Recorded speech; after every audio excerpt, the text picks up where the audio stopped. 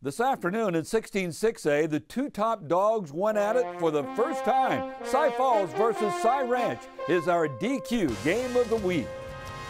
This one would be as good as advertised this afternoon. In the first quarter, the Golden Eagles came out firing. That's Jessiah McKnight taking it to the rack for two, 21 to 6 Cy Falls after one. In the second quarter, here come the Mustangs. Ryan Moore throws up the alley for Dubem Muonecke to finish with the oop. But here comes McKnight. He creates his own shot. It's a long two, but it helped him to 18 points on the day.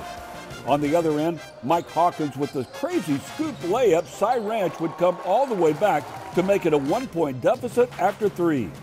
In the fourth quarter, Joseph Tugler underneath for the dunk, and we're heading to overtime, tied at 44-44. But it was Muonecke who would lead Cy Ranch to victory. He scored 23 points as the Mustangs take first place by themselves with a 52-48 overtime win.